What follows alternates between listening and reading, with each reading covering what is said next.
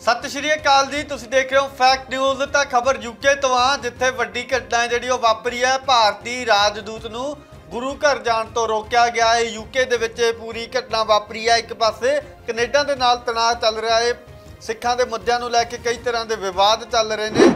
ਤਾਂ ਇਸੇ ਦਰਮਿਆਨ ਯੂਕੇ ਤੋਂ ਵੱਡੀ ਖਬਰ ਹੈ ਕਿ ਭਾਰਤੀ ਰਾਜਦੂਤ ਨੂੰ ਗੁਰੂ ਘਰ ਵਿੱਚ ਜਾਣ ਤੋਂ ਰੋਕਿਆ ਗਿਆ ਹੈ। ਯੂਕੇ ਦੇ ਗਲਾਸਗੋ ਦੇ ਵਿੱਚ ਪੂਰੀ ਘਟਨਾ ਵਾਪਰੀ ਹੈ। ਜਿੱਥੇ ਵਿਰੋਧ ਕਰਕੇ ਰਾਜਦੂਤ ਨੂੰ ਵਾਪਸ ਪਰਤਣਾ ਪਿਆ ਏ। ਨਾਲ ਹੀ ਵਿਰੋਧ ਕਰਨ ਵਾਲੇ ਲੋਕਾਂ ਵੱਲੋਂ ਗੁਰੂ ਘਰ ਦੇ ਪ੍ਰਬੰਧਕਾਂ ਉੱਤੇ ਵੀ ਸਵਾਲ ਨੇ ਜਿਹੜੇ ਉਹ ਚੁੱਕੇ ਗਏ ਨੇ। ਤਾਂ Indian ambassador Vikram Doraiswami ਨੂੰ ਰੋਕਿਆ ਗਿਆ ਏ। ਉਹਨਾਂ ਦਾ ਵਿਰੋਧ ਕੀਤਾ ਗਿਆ ਏ, ਜਿਸ ਕਰਕੇ ਉਹਨਾਂ ਨੂੰ ਵਾਪਸ ਜਾਣਾ ਪਿਆ ਏ ਗੁਲਾਸਕੋ ਦੇ ਗੁਰੂ ਘਰ ਦੇ ਵਿੱਚ। ਇਹ ਪੂਰੀ ਘਟਨਾ ਹੈ ਜਿਹੜੀ ਉਹ ਵਾਪਰੀ ਹੈ ਹਾਲਾਂਕਿ ਜਿਹੜੇ ਲੋਕਾਂ ਵੱਲੋਂ ਵਿਰੋਧ ਕੀਤਾ ਗਿਆ ਉਹਨਾਂ ਵੱਲੋਂ ਸਵਾਲ ਨੇ ਜਿਹੜੇ ਉਹ ਪ੍ਰਬੰਧਕਾਂ ਤੇ ਜ਼ਰੂਰ ਚੁੱਕੇ ਗਏ। ਤਾਂ ਯੂਕੇ ਦੇ ਵਿੱਚ ਵੀ ਸਿੱਖਾਂ ਦੇ ਕਈ ਮਸਲੇ ਨੇ ਜਿਹੜੇ ਉਹ ਚੱਲ ਰਹੇ ਨੇ। ਇੱਕ ਪਾਸੇ ਜੱਗੀ ਜੌਹਲ ਦਾ ਮਸਲਾ ਚੱਲ ਰਿਹਾ ਹੈ, ਦੂਜੇ ਪਾਸੇ ਅਵਤਾਰ ਖੰਡਾ ਦੀ ਮੌਤ ਦਾ ਮਸਲਾ ਚੱਲ ਰਿਹਾ ਹੈ। ਹਾਲਾਂਕਿ ਜਦੋਂ G20 ਹੋਈ ਸੀ, ਤਾਂ ਜਿਹੜੇ ਯੂਕੇ ਦੇ ਐਮਪੀਸ ਹੁੰਦੇ ਨੇ, ਉਹਨਾਂ ਦੇ ਵੱਲੋਂ ਇੱਕ ਪੱਤਰ ਆ ਜਿਹੜਾ ਯੂਕੇ ਦੇ ਪ੍ਰਾਈਮ ਮਿਨਿਸਟਰ ਰਿਸ਼ੀ ਸੁਨਕ ਨੂੰ ਲਿਖਿਆ ਗਿਆ ਸੀ ਕਿ ਉਹ ਪ੍ਰਧਾਨ ਮੰਤਰੀ ਨਰਿੰਦਰ ਮੋਦੀ ਦੇ ਕੋਲ ਜੱਗੀ ਜੋਹਲ ਦੀ ਰਿਹਾਈ ਬਾਬਤ ਗੱਲਬਾਤ ਕਰਨ, ਇਹ ਮੁੱਦਾ ਉਹਨਾਂ ਕੋਲ ਚੱਕਣ ਤਾਂ ਜਿਸ ਨੂੰ ਲੈ ਕੇ ਯੂਕੇ ਵਿੱਚ ਵੀ ਪੰਥਕ ਮਸਲਿਆਂ ਨੂੰ ਲੈ ਕੇ ਕਈ ਤਰ੍ਹਾਂ ਦੀਆਂ ਚਰਚਾਵਾਂ ਨੇ ਜਿਹੜੀਆਂ ਉਹ ਚੱਲ ਰਹੀਆਂ ਨੇ। ਤਾਂ ਇਸੇ ਦਰਮਿਆਨ ਵੱਡੀ ਘਟਨਾ ਵਾਪਰਦੀ ਹੈ ਜਿੱਥੇ ਇੰਡੀਅਨ ਐਮਬੈਸਡਰ ਨੂੰ ਗੁਰੂ ਘਰ ਦੇ ਵਿੱਚ ਜਾਣ ਤੋਂ ਰੋਕਿਆ ਜਾਂਦਾ ਹੈ। ਹਾਲਾਂਕਿ ਗੁਰੂ ਘਰ ਦੇ ਅੰਦਰ ਤੋਂ ਵੀ ਇੱਕ ਵੀਡੀਓ ਆ ਜਿਹੜੀ ਉਹ ਬਣਾਈ ਜਾਂਦੀ ਹੈ ਜਿਸ ਦੇ ਵਿੱਚ ਵੀਡੀਓ ਬਣਾਉਣ ਵਾਲਾ ਕਹਿੰਦਾ ਹੈ ਕਿ ਕਿਸ ਤਰ੍ਹਾਂ ਦੀ ਤਿਆਰੀ ਆ ਜਿਹੜੀ ਉਹ ਤੁਸੀਂ ਦੇਖ ਸਕਦੇ ਹੋ, ਕੀਤੀ ਜਾ ਰਹੀ ਹੈ।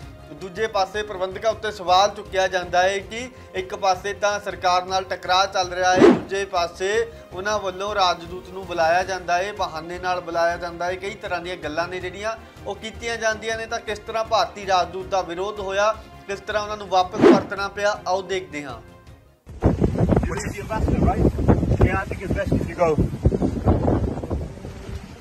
Indian High Commissioner came, but they're turning around. ਆਇਆ ਜੀ ਕਮੇਟੀ ਦੇ ਗੁਰਦੁਆਰਾ ਸਾਹਿਬ ਦਾ ਪ੍ਰਬੰਧ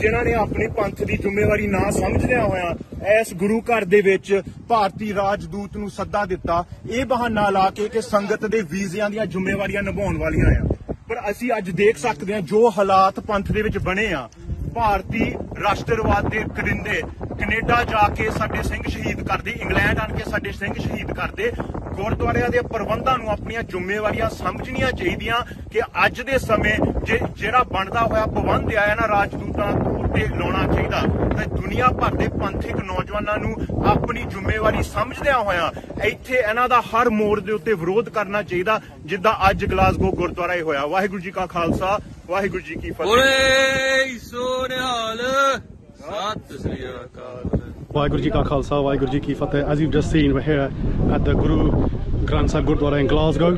Uh, we heard heard uh, that the uh, Indian ambassador from London and Edinburgh were going to be here.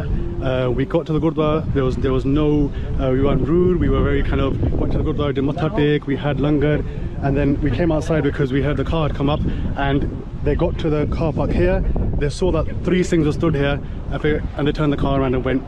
This is exactly how we should be greeting any any Indian ambassador, anyone from the Indian government in, who comes to the Guru Garden in an official capacity under any excuse of doing visa applications or whatever it might be. We know the games that they're playing. We know what's happened in Canada, and it's a slap in our faces when the Canadian Prime Minister has openly condemned India and and expelled Indian diplomats and our people, our individuals who you know run these Gurdwara in their committees, who are openly inviting them. So this is how we should be treating them. As you can see, they've all gone. Um, and uh, if there's any more updates, we'll let you know. Waheguru ji ਕਾ ਖਾਲਸਾ ਵਾਹਿਗੁਰੂ ਜੀ ਕੀ ਫਤਿਹ